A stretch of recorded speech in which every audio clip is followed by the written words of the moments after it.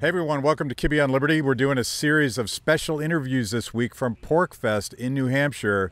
This is a project of the Free State Project, and it's a gathering of libertarians and constitutional conservatives, Republicans. Uh, we even had some uh, converted progressives here who are looking for liberty, and we're hanging out in this beautiful place. And these conversations are going to be awesome. Check it out. So, so thank you guys for doing this. Uh, I, am going to start with a story. I was at uh, Blaze TV Studios a couple weeks ago, doing some shoots and doing Glenn Beck's show, and I mentioned the Free State Project, and he's like, "What's that?" Thank you. He's like, "What's that?" And and I started to explain it, and uh, I probably did a, a, a crappy job explaining it, and he was very interested. So this show in a sense, is an opportunity to explain to not just uh, the Free the People community, but Blaze TV community, what you guys are up to here at the Free State Project and PorcFest. And as far as I can tell, I've done investigations, and you guys are the instigators. we certainly are this year. Yeah. So, um, Carla, why don't you go first and just give me a little bit of your like your your Liberty origin story and and when you moved to New Hampshire and and all that. Sure. So, I mean, for folks who don't know, the Free State Project is a movement of voluntary human action where we are trying to concentrate libertarians in the state of New Hampshire.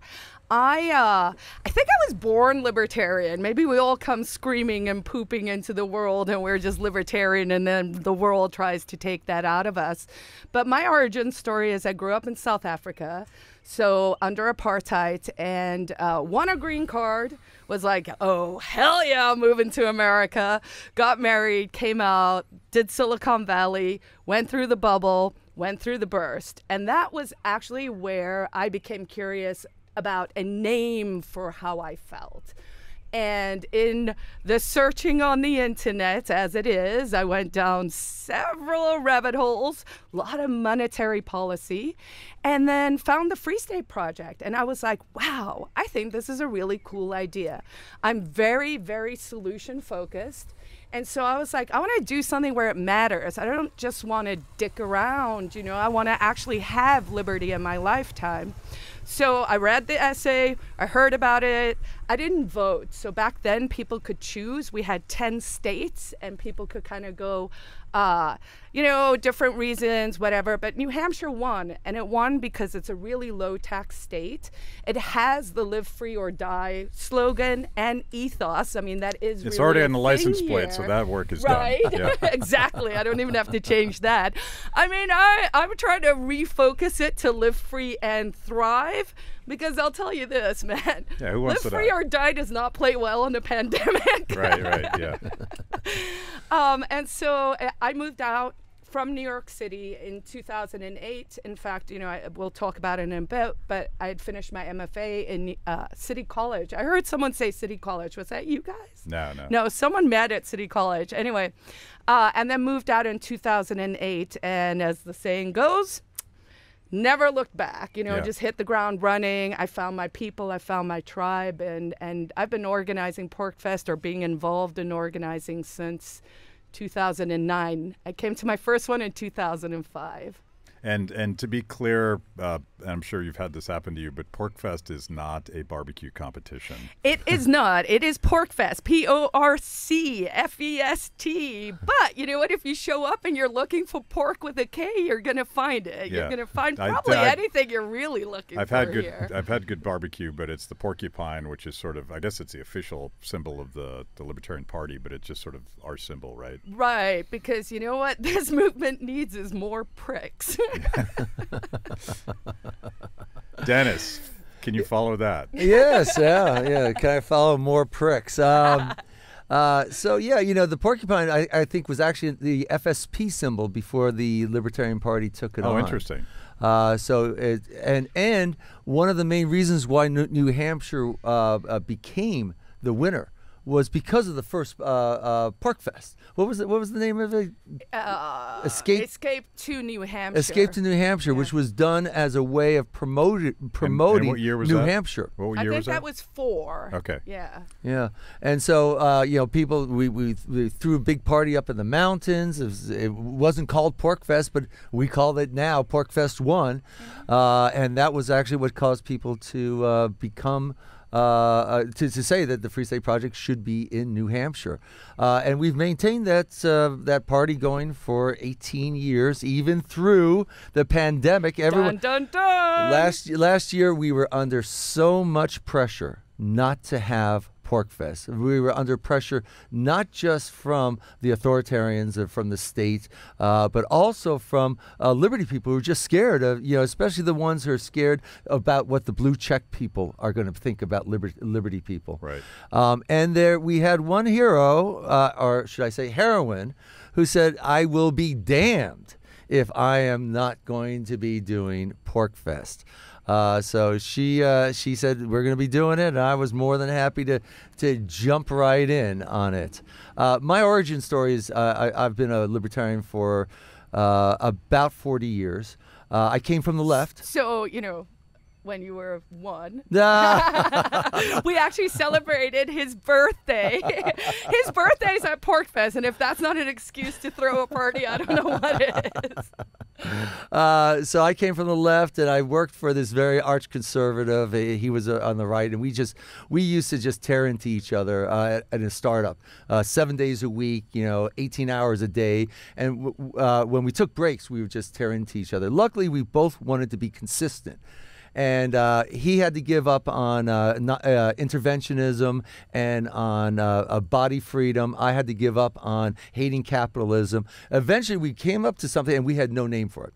We thought we had invented something new. I remember uh, one morning I was really bored, and I was like looking, trying to think of something to distract me. I wanted to come up with our one of our regular arguments, and I, I finally I couldn't do it. I said, "So that's it? We we, we don't have any disagreements?" And and about an hour later, he says, "I can't think of anything." About uh, about six months later, on a Chicago bus in the middle of winter with the slush going back and forth, I was reading a leaflet that was on the bottom of the bus, uh, uh, upside down, and I was, I was reading it as I was going. Oh my God! I picked it up. It was dripping wet. I jumped out of the bus, found a payphone, and said, "I know what we are. There's a word for what we are." We're libertarians. so that was the first time I'd ever heard the word. I, I don't think I heard it in public for another three years. Um, and I, I, I, I had heard about the the uh, about PorcFest and the Free State Project from a friend who was uh, uh, definitely not not libertarian, and because I was such a long libertarian, I thought, well, I, pff, I could dis- disregard that. That's that's obviously nothing. And I came up um, uh, uh, uh, a number of years ago. I think it was 2011. Uh, and it, my it was my birthday. My my birthday always falls on PorcFest, and my wife wasn't going to be in town. She said, "Well, why don't you do something you really want to do?" I said, "Well, I've always thought about going up there. I'll just go up for the day." And I came up for the day, and I had lived in New York, New Jersey, Chicago, Boulder, and Boston. And all of a sudden, I was amongst people that I didn't have to ask, Do you think that we own our own bodies? You know, just that basic thing. We, we could start from such a high level. I called my wife that night. I said, honey, listen, I'm having a really good time. I said I'd be home, but I'm, I'm going to stay one more day. And the next night I called up. I said, "Yeah, just one more day, honey." And it, and I stayed the whole week. Uh, and I was Yes, just so relieved, so relieved. Um, I didn't really think that we would move up here, but but we, my my wife actually is the one who decided. She said, "Yeah, I know you really want to move up here." I th- I thought it was too big an ask, and she said, "Yeah, you know, we'll move." So I've been up here for two and a half years, and you can see after two and a half years they make you uh, organize PorcFest. So. yes, Yeah. they do. when they're when you're as wonderful as you are, yes. and this like this is one of the the great experiments in liberty because in and one of the reasons one of the many reasons I love it is like the caricature of libertarians is kind of that Randian stand alone and and you know the caricature is falsely like do whatever you want and just go climb a mountain somewhere and, and be away from things. But of course, even in Rand's novels, it always leads to building a community, right? Right. Yep. And uh, and this is the, the you know the the the opposite side of the coin of individualism is how we how we gather in voluntary cooperation and thrive for all of our, our differences and weirdnesses and there's plenty of difference and weirdness here. Yes, of Thank, course. thank you very much. Because that is the human condition, right? but But- it's it's a it's a place where we sort of feed off of each other. Like and that's what a good community does. Like there's cooperation, uh, there's there's certainly some competition, particularly when it comes to ideas, but it's it's just a it's just a great place to be. Yeah. I'm giving a talk tomorrow on libertarian communitarianism because I consider myself a communitarian lib- Yeah. libertarian. Yeah. Um, and I, I argue that that uh, you know that there authoritarians make do all these really really clever clever sophistic tricks in order to win the argument without even discussing the topic. And one of the things that they've done is they've conflated uh, authoritarianism with community and libertarianism with being isolated and lonely. Right. Well, my whole life, what I do is I create large communities, Uh, but they're they are all voluntary. They're all win-win. They're all consensual. And I, you know, I, I, I you know, I, I argue that uh, that the the community that authoritarians are talking about that's not a community. That's a penal colony. Yes. Right. You know, only with libertarianism can you actually have real community. And I have to say, a testament to Dennis's work this year. I think what he did that was uniquely why we're seeing the largest PorcFest ever. Now, of course, we're seeing it for several reasons. Totalitarianism it was a growth sector for libertarians, Right. right? As they clamp down more, you know, we're, more of us are going to be formed. But what he did that was so genius is he reached out to smaller groups of people. So instead of kind of going, we need all the libertarians to come to New Hampshire. He was like, who are my top 200 people? And how can I get them to get 10 or 20 or 30 of their best friends to also come, right? So we have over the years, and certainly back when I was main organizer, you know, we tried to do this sort of decentralized approach. We have these fantastic talks down in the pavilion. We've got the Bardo Community Farm and the please, you know, come buy a house part of it. But really, the heart, I think, and the one we've really, really nailed this year is this, right? Like, even having you guys here and you doing your media. But, you know, if you look over this campground, they're just, you know, how many hubs are there? So there's 90 hubs. We have uh, uh, 500 events on the schedule, and another 200 that are not on the schedule. Uh, we have I know 25. nothing. we have uh, 2,500 uh, uh, over 2,500 attendees uh, who are actually logged in attendees, uh, and we're not doing day passes. You know, the, these are, are people who are really here, and we're two to one uh, potential migrants Mm. to uh, porcupines. Uh, people are already here. And we already have tickets on sale for 2022, which we've actually never managed to do before either. And I think I people- insisted on that. Yeah, and I think we shouldn't lose sight of the fact, you know, we're running on pork power here, right? We're all volunteers. You know, we are just people who are so passionate about this. You know, I saw your Liberty Curious t shirt, and I don't know if I'm right that I coined it, but I do remember using that years and years and years ago on stage, and everyone was like, that's smart because that's what people are, right? Like, if you mm-hmm. don't quite know where you fit in yet. And I believe curiosity is the antidote to statism, mm. right? Like we don't actually have to persuade everyone we're right. In fact, I think when we try to do that, we fail. Yeah. Because no one likes getting preached at. And face it, we're the kind of people who, you know, generally think if not are the smartest person in the room and we're pedantic and we could kind of be jerks Yeah. and whatever, right? So if you can turn people on by just making them curious. I mean, what's more fun than going down a rabbit hole where you're like, the mm. conclusion is liberty, but you came to it yourself. You know, it was, it was Penn Jillette. I had Penn Jillette on the show, and he's just fantastic, and he's a great interview because all you have to do is say hi, and he just. but I, I used, I think I used the word, you know, how do we persuade people, and he corrected me in a, in a profound way that stuck with me, and I, I'm not really in the business of convincing or persuading. I mean, I, I sort of call it leading by example, and it's the same thing as curiosity. Like, I think people should make up their own minds about everything, And I'm not here to say that I've got it figured out and you're not smart enough to understand where I'm coming from. And I think a lot of libertarians fall into this right. trap where we sort of talk down to people. Um, but this is like, it's not a social experiment. It is, it is a community, and people can see how things function and how people cooperate and they respect each other's rights and and like this this grand experiment of asking people to pick up their families and move to a different place yeah. and live like that's a big ask. It's mm. it's you know I, I i have all the jokes right? So one of them is like it's worse than selling timeshare. I mean it's a big ask right?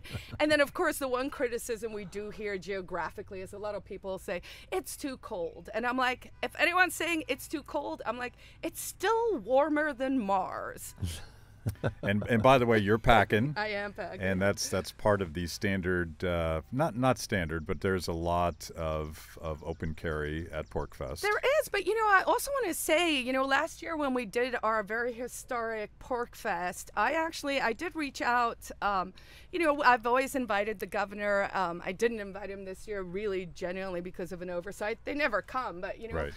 I grew up in a diplomatic household, and my dad was a diplomat for the apartheid regime. So, you know, I learned propaganda on my parents' knee, kind of thing, right? And I see a lot of what I'm doing here as a diplomatic mission. So I do want someone like the governor to come.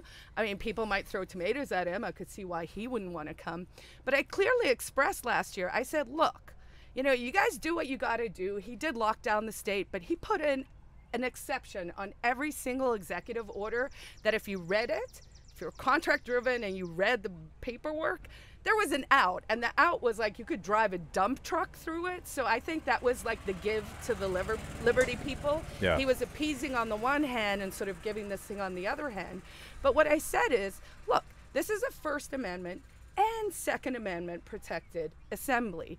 And I don't say that to be a badass. You know, our rights are our rights for a reason. But I will tell you in New Hampshire, I think, you know, we're, we're figuring out this relationship because they're like, we can't roll in and just you know, come in here and be like, well, you know, who's doing what and what's going on because yeah. no one wants to tee up that situation. Yeah. And quite frankly, I mean, the law enforcement in town, I meet with them before we have it. You know, we have our rules set up. You know, they don't come in without Crosby, property owner, inviting them. You know, I was like, yeah, it's like vampires. and then the cop was like, okay, I don't know how I feel about being called a vampire, but I was like, I understand the rule now. You yeah. know. Um, so yeah, it's it's you know people are people are armed, and that's partly just to make sure that you know we we assert our rights. Rights that aren't asserted are lost. See, I love it. So I don't have to carry because right. I know that I'm in the safest place, perhaps in the universe you right now. You probably are. yeah. yeah. and it's uh, and and it's just part of the the, the beautiful weirdness of it all because um, you have you have a ton of pacifists here, including the ones that are heavily armed. Right. And of course non uh, certain people would never understand that concept. But you mentioned the governor, and I and I want to segue to this because I think it was you that shared on social media a recording of the governor mm. complaining. Mm. I don't know if he named the Free State Project by name, but he was complaining about libertarians taking over the, the GOP in New Hampshire. Yeah. and and you're like, uh, yeah, that's what we're doing. Talk about Talk about that because there's there's other strategies here, and I, and I, we'll touch on them. Like a big part of the Free State Project, as I understand it, is agorism, which means I'm just going to go live free, right? Mm. And I'm not going to worry about the government. And then there are people that want to take over the Republican Party and, and actually insist that they, they live up to that liberty rhetoric that they love to use mm-hmm. but never follow through on. and then there's big L libertarians. Yep. Mm and then there's gun rights guys, and then there's about a thousand other mm. categories of strategy. But let's talk about let's talk about the success that Free Staters have had as part of this attempt to, to reimagine the, the Republican Party in, in New Hampshire. Yeah, so I mean, uniquely in New Hampshire, we you know, it's the live free or die state. The Republicans are fairly, cons- uh, you know, consistent with the libertarian platform. In fact, I've run for office now three times, and I got 45% of the vote as a Republican in the last election. And that's, you know, my, my numbers keep eking up. So people actually meet me and then decide to vote for me because the first run was 39%. And that was literally just having an R next to my name. Now, had I run just straight LP, I would have gotten 3%. I would have been discouraged and I would have stopped. Now I'm like, well, my numbers keep going up, right? So on that particular call with the governor, uh, that was a, a, a tight group GOP, like insider. So the fact that we even got access to that leaked stuff, I think tells you that people's loyalties are being swayed.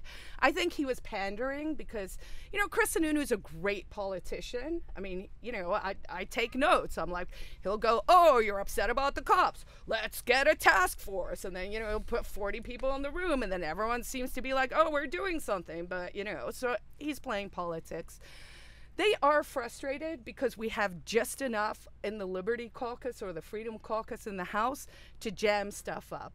Now, I will say this that when I heard that clip and when I heard that, you know, I was like, well, you know, you can pick your battles here because you can push us out, which is not going to happen because we know the strategy we're following is working. So mm-hmm. why would we change it? Um, but there was a race that happened maybe five, six years ago uh, Kelly Ayotte was running for Senate, Congressional Senate, and Aaron Day, who at the time was on the board of the Free State Project, um, they passed under Republicans, they passed Medicaid expansion. And we told them categorically, if you do that, you're going to regret it. Now, we don't have enough sway to beat them, but we have enough sway to screw them. Yeah. So he pulled 20,000 votes and the Democrat won. And we haven't been able to unseat her. Now, I'm not happy with her either, but the point is, we do have just enough influence now that people have to take us seriously. But for me, again, diplomacy. How do we work together? How do we get the things we want? I laughed. Someone posted in the Republican, one of the groups, after Sununu's, uh, you know, little "I don't like the libertarians, you should pick your own party" thing. Um, someone posted, and I think it was a genuine question, and he said, "What is the difference between a libertarian and a Republican?" And I was like, "Well, a libertarian always wants to shrink government. A Republican wants to shrink the government they don't like and expand the government they do. Right? They're, we're not with them on war and anti-war and that kind of stuff." And and people were like yeah that's actually a pretty good distinction right? We don't distinguish between what our interests are. We don't have special interests other than the individual. So i have a fun sununu story that just pops to mind hearing this. And um, when i was a 20-something economist i worked at the u.s chamber of commerce and we had a bush for a president who decided to break a no new taxes pledge. And mm. as the budget director for the u.s chamber I was writing all this stuff trashing the Republican tax increase plan. And I proudly, successfully got uh, John Sununu, chief of staff to President Bush, to call up the president of the U.S. Chamber of Commerce and threaten to cut his balls off with a chainsaw. Whoa! and what's awesome about that is I didn't get fired, and I think I think maybe a couple years later I would have got fired from the chamber for for upsetting someone for raising taxes, but. Mm. Um, so, Dennis, where are you? Like, sorry about that random tangent, but it's I've always wanted to tell that story. Dennis, where are you on? Like, what's the what's the meatiest part of the Free State strategy? Is because because this is one strategy, right? It's not it's not everything. Well, I, I actually I want to put I, I want to make a, a, a little uh, footnote here. Uh, the Free State project, all it's doing, it has only one function. It says, come to New Hampshire if you are liberty oriented. Come to New Hampshire and help us build New Hampshire. The Free State Project is fairly neutral about how that is mm. going to look. Yeah. Now, Carla wears multiple hats. Yeah, my wees are just my wees are all royal. so she wears multiple hats, but it's not a free state project strategy to uh, to to uh, uh, go into the uh, uh Republican Party or to mm. support the Libertarian Party or or any of that type of stuff. All the free state project is saying come and, and, and, and stop being so isolated. Stop being so besieged and, and uh, disparaged for, for what is really a, a beautiful thought about how we could live together in harmony right? In consensual voluntary win-win harmony. Uh, and, and, and, and, and how we do that though, when once we get here, it's just amazing to me because we bring in so such a, a myriad of libertarians, and some are very political, and some say, you know, I really want pol- uh, political wins now. I'm going to go for the Republican. The Libertarian Party in New Hampshire has just gone through a major uh, uh, uh, Drama. Oh, a major much- so much revolution. drama, A major rev- because I came here as a libertarian. I, I you know, I I've I've never voted Republican, right? I I don't. I mean, to me, voting Republican would just I I I, I would. It's hard for me You'd to break do that. out in a It's hard for Yeah. me to do that. I've only voted Democrat, uh, Socialist, or Libertarian. Would it be hard for you to do if you're voting for the candidate you like? Well, I mean, that's I've that's exactly it. This might So- get Right. awkward, but would you vote for Carla? I've, in second. As Please a matter of fact, yes. as a matter of fact, as a matter of fact, I've, I've, I've given her money for her Please, campaign. please, He please, please clap. But yeah, so being here and understanding what a, uh, a Liberty Republican is as opposed to a Republican Yeah. is is is just a different animal. So I mean, your audience thinking that we're vo- that we're voting Republican, they don't understand Yeah. what New Hampshire Liberty Well, Republicans it's, it's, mean. a, it's it's values and an ethos, and you're describing the ethos of the Free State Project, which um, I always thought was the American ethos. Yeah. like Yeah. be whoever you are, That's right. And and and we sort of celebrated that, and it's it's only, you know, in the last five years, I've I've wondered whether or not that is the ethos because it seems like we've gotten so tribal and we, we have to destroy the other team and Right. I mean, right. I think a Yeah, lot but of that is comes from the social top down, right? But I think it's also social media. I think that um, I don't know if you guys remember this, but there was an experiment maybe like two years ago where they wrote an AI algorithm. And they put the algorithm out on Twitter, and it was self-learning. That was the point. It was supposed to look at you know tweets and then create a personality. And within two days, that AI algorithm was a Nazi, like writing like the most heinous stuff, right? And I, since then, you know, and my background is I'm a lawyer, right? But I, I worked only for software companies in Silicon Valley when we immigrated. You know, I worked for Apple and Logitech, Borland, and and you know, I'm like, I think the AI got out of the, I think the AI has escaped, and some of this nonsense and this frequency and this noise is is just it's it's not real. And then another thing I wanted to mention, for the longest time, I think because I'm adverse to drama. I'm a let's make it happy, let's make it fun, let's make it all of those things. And so for the longest time, I'd be like, ah, drama.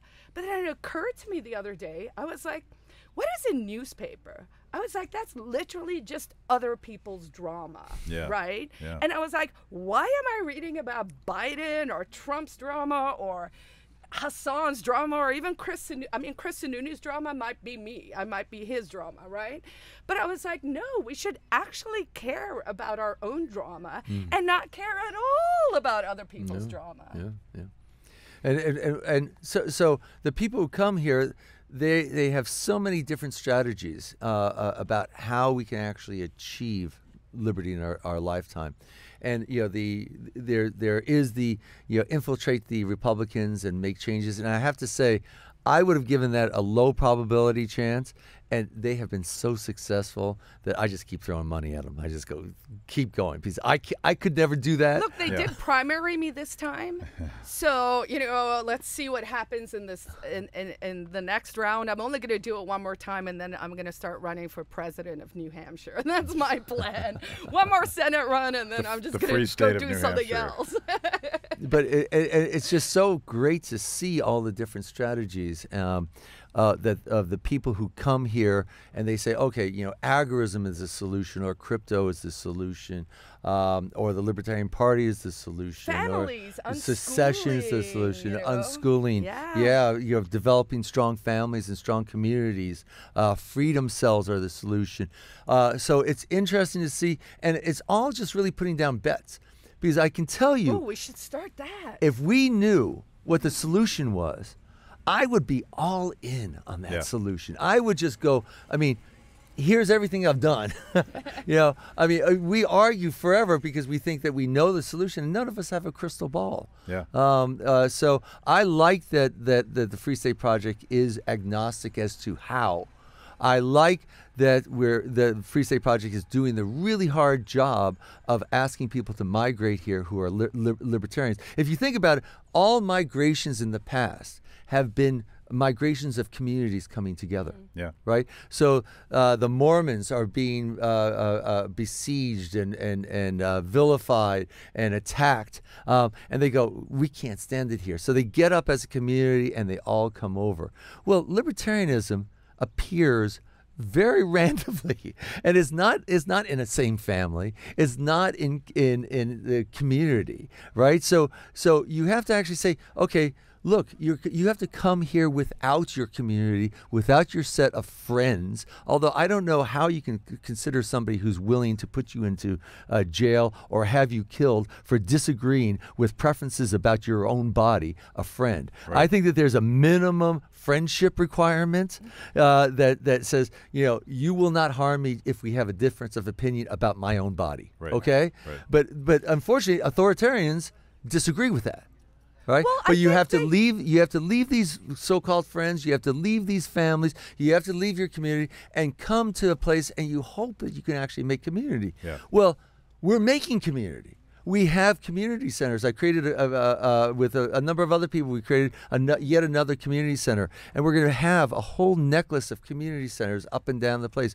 We have these large community events. We have different communities around agorism and crypto, and so, so whatever your area of interest is, and even just an area of investigation, if you're curious at whether this liberty area yeah. is something, you can find a community and, and, talk to those people and say, "Do I fit in here? Do I fit in here?" Do I fit? What are of the most frustrating things for me was when I first came up here. I said, "Oh well, I know I'll, I'll be with these group." I didn't fit. I didn't be with this group. Oh, I didn't fit. I didn't fit. You know, and then all of a sudden I go, okay, I'm fitting in really well with this. This feels like home yeah. for me. And that's like to me that is sort of the core Austrian insight about civil society is that um, if it could be centrally planned from the top down, um, I think that would still be a nightmare. But the, the problem is you don't know enough to do such a thing. I got two more things I want to talk about, and then we're running out of time. And I see that you have a book in your hand, Carla. I do indeed. What is that about? So it is the Ecstatic Pessimist Stories of Hope, mostly.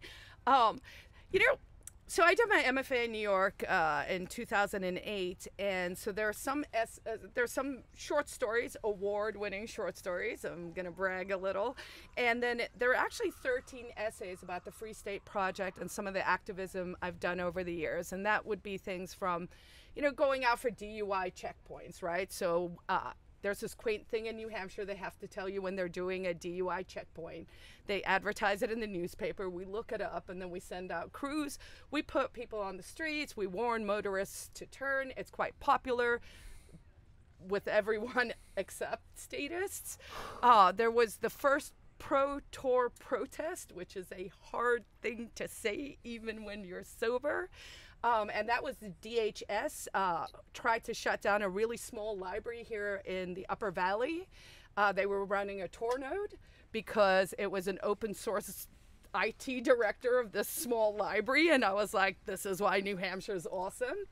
And so they tried to shut it down. And that was one of those beautiful moments where we literally had, you know, 100 year old Vermont librarians driving out and libertarians with guns, and we were all there saying, You don't get to tell us what we can do with our libraries, right? Yeah. So it has a little bit of everything for anyone. It's on Amazon, it's also on my website, carlagericke.com. You know, it's a way to show your support. You know, I just take everything I have and I put it back into this. So, you know, you're really just supporting liberty in New Hampshire. Very cool. So, so Dennis, you're going to close us out and uh, give me, if you can, the data on how many people have migrated to New Hampshire, and make make the elevator pitch. Everybody watching here is is suddenly considering moving to New Hampshire mm. because they love liberty. Mm. Well, if you actually think that uh, human freedom is something that's really important, if you think that uh, that ending human slavery, and we've ended private slavery, we have had 6,000 years of slavery to rulers, where rulers could take our bodies, take, uh, take our labor, and take the product of our labor. And if you're saying, look, slavery is evil, And I want to live in a society where we do not have that. Come to New Hampshire and help us build a model society for that that that does not rely on slavery at all, slavery to, uh, to rulers or, or, or, private slavery, that that relies only on consensual relationships, on voluntary relationships. Uh, and and then we can demonstrate to the world what this thing looks like. I mean, we don't know what it looks like. We don't know. It's going to be a bottom up type of thing. And this is an experiment. This is uh, people building it. We need entrepreneurs. We need builders. Uh, you know, the people we, the people I, I, I, always get a little bit discouraged about are the people who say, oh, well, I'm not going to move to uh, New Hampshire because on this one issue, because the this pod state, laws aren't good. Because like, this, this state here, uh, this, this policy area here is better in this state. Well, it's not a point in time. We are a vector. And if you look at where New Hampshire is, it's a point that's really good, and the vector is going to freedom. And you coming here increases that vector to freedom. And we want people to, who are going to come here and increase that, that vector to freedom and actually create something and demonstrate to the world that we do not need to be the owned property of rulers. And the people watching this, Carla, can sign up to come to PorcFest next year so we don't have to trust Dennis. They have to come and check it out for their own damn selves. Yes, I, I, I, encourage everyone to come. We do know that anyone who comes to PorcFest, most people come back again.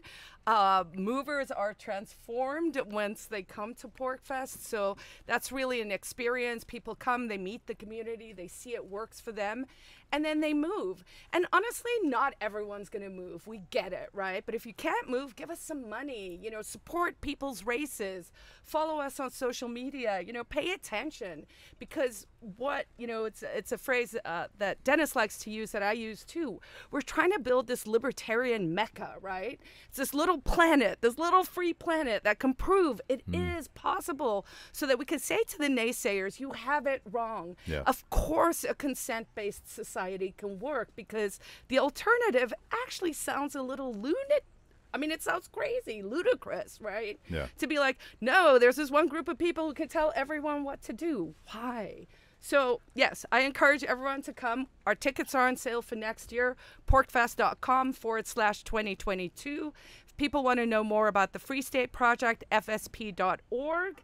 And then, of course, follow us on social. And and come to visit us uh, outside of PorcFest. Uh, you know, anytime oh, that you anytime that you want to come, you, you go to fsp.org. There's a calendar on there, and we have events every single day. Come up to our, our community centers and take take part. We do Come comedy to, shows. We do comedy shows where we have dances. We have uh, longest running Bitcoin crypto meetup in the world. Longest running consecutive Bitcoin meetup in the world. I think it's on like it's hundredth or something. I mean, yeah. it's something bananas long. Yeah. We have the only satellite for the Soho Forum. We're going to create more connections with other uh, other liberty organizations. So you know, uh, what you're seeing right now in New Hampshire is just the start. Yep. We are going to be building this up internally, and then we're going to be building up with connections to all the liberty organizations. And if you really love liberty and you want to help us build, please come. Thank you both. Amen. That was amazing. Where can I get more content just like that? It's a great question. You're clearly a discerning consumer of the best content. Make sure to like the video, subscribe, and click the bell. And if you're consuming podcasts, go to Apple, Stitcher, anywhere you get them. I'm in. Kibbe on Liberty, honest conversations with interesting people.